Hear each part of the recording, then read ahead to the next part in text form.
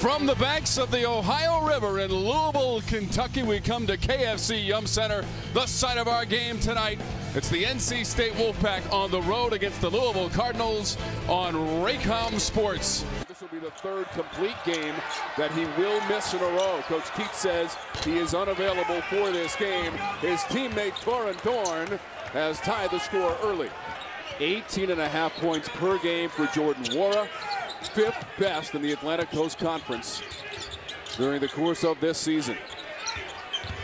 Dorn spinning in the paint with the soft touch. Torin Dorn. Inside and Dorn lays it in. And the lead has been sliced to two by the pack. A couple of missed layups by Louisville. Dorn stepping around his defender, and that was Nwora. A pretty solid post move that time by Dorn.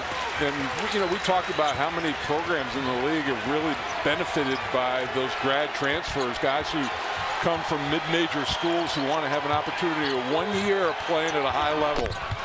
Dorn with a jumper. He has tied our game at 32. Dorn.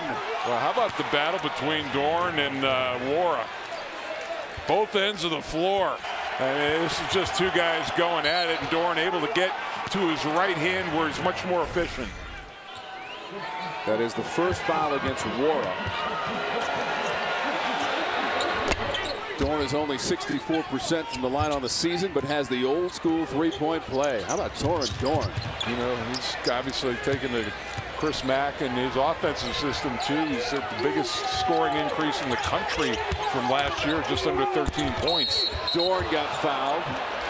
Dorn came off the bench for 13 points against Notre Dame. And that was more of a, uh, that's an offense for defense in the first half substitution to get Enoch in there on the offensive end of the floor. So Dorn has 14 points. He has now scored in double figures in 23 of his last 25 games. A consistent score and a senior for the Wolfpack. Getting it done in the first 20 minutes, and we're down to 30 seconds. And Cunningham and Fore that can rocket the ball up the floor. That time they connected together. Dorn trying to get three out of the corner, and he hits the bullseye. NC State of the game, 39% from beyond the arc. And they are 14 and 1 this season when they shoot 30% or better from long range. Shot clock is at six. Bryce recognizes it. Williams the deflection. The outlet to Nwora intercepted by Lockett. He goes alley-oop to Dorn. Regathers.